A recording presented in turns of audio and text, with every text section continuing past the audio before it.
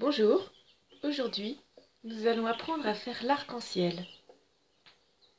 Je pose mon archer au milieu et je vais baisser mon coude sans tirer ni pousser l'archer pour l'instant, comme une petite balançoire qui va de corde de sol à corde de mi.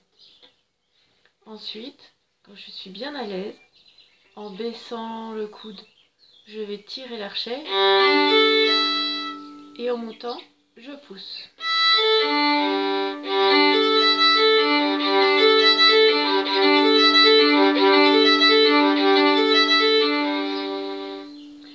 Ensuite, mon geste va se réduire un petit peu.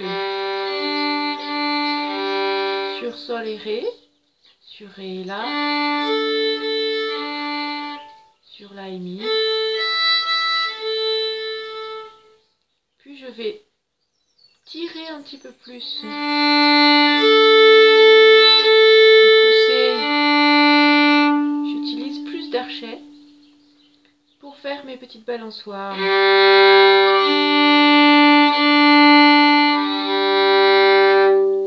Et ça y est, je sais lier par deux.